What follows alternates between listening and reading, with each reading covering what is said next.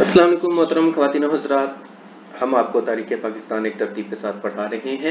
आज का हमारा टॉपिक है कंबाइंड अपोजिशन पार्टीज़ 1965 हमारा जो टॉपिक नंबर है वो है eight military in power Pakistan affair का है लेक्चर नंबर 48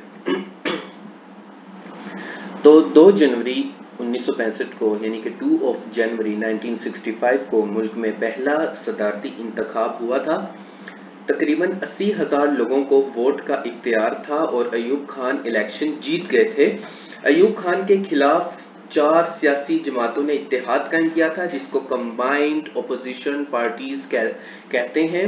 उन्हें कंबाइंड ओपोजिशन पार्टीज़ कहा जाता है सी ओ पी तो Ayub Khan Muslim League conventional की सरबराही कर रहे थे और कायद आज़म रहमत की बहन मोहतरमा फातिमा जना जिनको मादर मिलत भी कहते हैं, वो मुतहिदा अपोजिशन की नुमाइंदगी कर रही थी।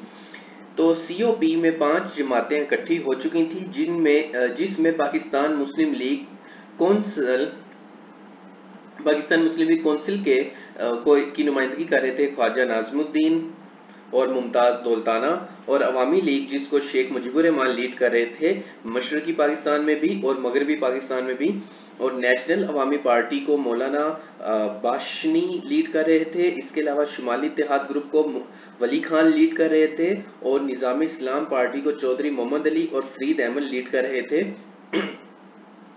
इसके अलावा जमात इस्लामी को मौलाना मदूदी लीड कर रहे थे। मुतहिदा अपोजिशन जमातों ने मादर मिलत यानी फातिमा जना को अपना सदारती उम्मीदवार बना दिया था। अयूब खान ने 63.3 परसेंट वोट हासिल किए थे। उनकी जमात 120 नशिस्तों पर कामयाब रही थी, जबकि मुतहिदा अपोजिशन को सिर्फ़ 12 नशिस्तें मिली थी 12 सीट्स मिली थी। बाकी तमाम आज़ाद उम्मीदवार जीते थे और ज़ाहिर है कि उन्होंने जीतने वाली पार्टी के ही साथ जाना होता है। इसके अलावा अयूब खान ने भरपूर ताकत का भी इस्तेमाल किया था और मोहतरमा फातिमा जना की बहुत सारी जो तकरीरें हैं, जो कि उनको जिता सकती थी, वो रेडियो पाकिस्तान पर नशर ही नहीं हो सकी और जबकि अयूब खान इजली अपनी तकरीरें रेडियो पाकिस्तान के ऊपर नशर करते रहे थे। नवाबजादा नसरुल्ला खान मुतहिदा अपोजिशन के लिए बहुत मेहनत कर रहे थे और वो एक अहम किरदार की हैसियत से सियासत कर रहे थे। ख्वाजा नाजिमुद्दीन भी एक ऐसा ही काम करना चाहते थे, मगर वो ना कर सके, क्योंकि इसका आइडिया तो ऐसा सच मुझे नहीं है। अगर आप इसके बारे में स्टडी करना चाहें तो आप कर सकते हैं कि जबकि जो नवाबजादा नसरुल्ला खान है, वो एक मुतहिदा अपोजिशन बनाने में काफ़ी हद तक कामयाब हुए थे, लेकिन वो नाकाम रहे, वो हम आपको आगे चलकर बताते हैं। ये नवाबजादा नसरुल्ला खान ही थे, जिन्होंने फातिमा जना को खतूत लिखे और मुतहिदा अपोजिशन के लिए तैयार किया। इसके अलावा बहुत ही जोश जज्बे के साथ काम कर रहे थे, मगर हकीकत उससे मुख्तलिफ़ है। क्योंकि बहुत सारे लोग खुद भी मुल्क का सदर बनने के लिए बेताब थे, इसी वजह से मुतहिदा अपोजिशन को नाकामी भी मिली थी। वरना अगर सब लोग मिलकर फातिमा जना का साथ देते, काम करते तो वो जीत सकते थे। जैसे कि जमात इस्लामी के मौलाना मदूदी को आगे देखना चाहती थी, जब और जबकि नेशनल अवामी पार्टी मौलाना बादशामी को आगे देखना चाहती थी। इसके अलावा जुल्फ़ार अली भुट्टो, जो कि उस वक्त अयूब खान के साथ खड़े थे, वो बहुत ही अच्छे तरीके से सियासी खेल खेल रहे थे और सियासी खेल खेल रहे थे और जो मुतहिदा पोजीशन में लालची लोग थे, उनको इस्तेमाल कर रहे थे और अयूब खान के लिए काफ़ी मामला तय कर रहे थे। तो जो मुतहदा अपोजिशन है सी ओ पी है, अगर हम उसके बारे में देखें तो वहाँ पर कोई वहाँ पर हर कोई अपनी दाल गलने का इंतज़ार कर रहा था। शुरू में वो फातिमा जना को एज अ लीडर लेकर चले मगर बाद में अपनी बारी का इंतज़ार की वजह से उनके ये मामला आगे ना चल सके, जिसका जो सीधा सीधा फ़ायदा है वो अयूब खान को देखने में यानी कि देखने में भी मिलता है हमें और हिस्ट्री में भी मिलता है कि अयूब खान ने मुतहदा अपोजिशन से किस तरह फ़ायदा उठाया और उनको बहुत ही कम सीट्स मिली थी। आज भी आपको पाकिस्तान के जो हालात नज़र आ रहे हैं के और जो आज पाकिस्तान डेमोक्रेटिक मूवमेंट बनी थी मरीम नवाज़, बिलावल भुट्टो, मौलाना फजल रहमानी, सबने मिला मिला के जो बनाई थी तो उनके भी टूटने की वजह यही थी कि वहाँ पर मरीम खुद को वजी अजम देखना चाहती थी, बिलावल खुद को और मौलाना फजल रहमान खुद को तो उसी तरीके से आप इस तरह चीज़ों को आपस में दूसरे के साथ कनेक्ट कर सकते हैं कि जो बेसिक साइकोलॉजी है ह्यूमन की, वो चेंज नहीं होती। इसके अलावा भुट्टो नवाबजादा नसरुल्ला खान से बहुत ज़्यादा आगे थे। और अगर हम देखा जाए तो भुट्टो नवाबजादा नसरुल्ला खान से ज़्यादा आगे थे।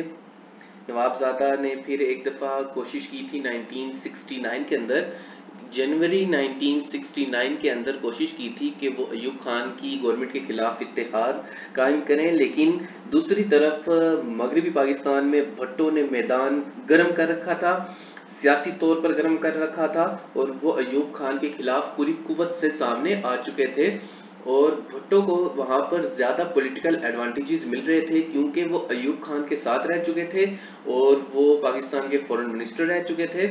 तो टेक्निकली अयूब खान बहुत ज़्यादा स्ट्रॉन्ग पोजिशन में थे, अपने लिंक्स की वजह से, अपने एक्सपीरियंसिस की वजह से, और अंदरूनी मामला को काफ़ी अच्छे तरीके से जानने की वजह से। मोटो नवाबजादा नसरुल्ला खान से ज़्यादा वाजिया जहन और वाजिया सोच के साथ आगे बढ़ रहे थे। अयूब खान को मगरबी पाकिस्तान में पीपल्स पार्टी ने ही घर भेजने में अहम किरदार अदा किया था। और अगर हम देखें तो मशरकी पाकिस्तान में मुजीबुर रहमान ने पूरी तरीके से मैदान सियासी तौर पर गर्म कर रखा था, शेख मुजीबुर रहमान ने, जबकि यहाँ पर भट्टो ने मगरबी पाकिस्तान के अंदर अच्छे तरीके से मामला को सियासी मामला को हैंडल किया हुआ था और वो एक बहुत ही ज़्यादा वाजह पोजीशन में आगे बढ़ रहे थे। नवाबजादा नसरुल्ला खान बहुत मेहनती सियासतदान थे, मगर दूसरे बड़े सियासी लीडर जैसे कि मौलाना मदूदी, वली खान, मुमताज़ दौलताना नूरुल अमीन जैसे बड़े सियासी रहनुमा आप अब उनकी अनाप्रस्ती कह लें या अपनी बारी का इंतज़ार कह लें या फिर आप उसको असूली सियासत कह लें या कुछ भी, किसी भी आप उनको यानी कि उनकी जो माजी की हरकत थी, आप उसको कोई भी नाम दे लें और वो आपस में एक दूसरे के साथ मुतहद नहीं रह सके। यही वजह है कि अयूब खान को तकरीबन 11 साल का इकतदार मिला था, जिसको बाद में मशरकी पाकिस्तान में शेख मुजीबुर रहमान ने और मगरबी पाकिस्तान में भुट्टो ने खत्म कर दिया था अपनी सियासी जद्दोजहद के ज़रिए और पब्लिक मैस मूवमेंट के ज़रिए और अपनी पॉलिटिक्स के ज़रिए।